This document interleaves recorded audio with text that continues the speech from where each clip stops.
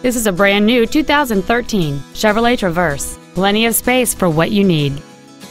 It has a 3.6-liter six-cylinder engine and an automatic transmission.